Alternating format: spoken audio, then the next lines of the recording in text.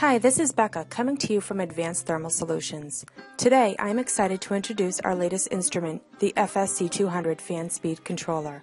The newly released FSC200 provides precise management of fan speeds during thermal management studies of electronic devices. How is this achieved?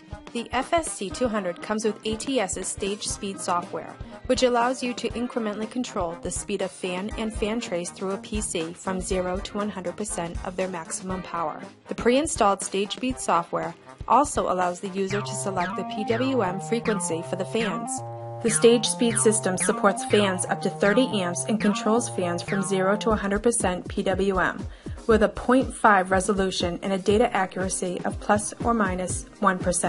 The FSC200 communicates with a computer through a USB connection, which also provides the FSC200 with its power. The system also has a safety feature that stops the fan and fan trays when the USB cable is disconnected. In many thermal management studies, the component temperature must be obtained when they are in the airflow from varying fan speeds. This data provides an envelope of safe operation of the device.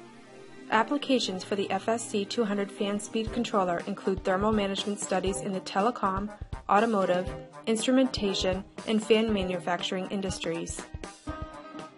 To learn more about the FSC200 or to see the full line of instrumentation products that ATS offers, please call 781 769 2800 or email ats-hq at qats.com or visit www.qats.com. Thank you.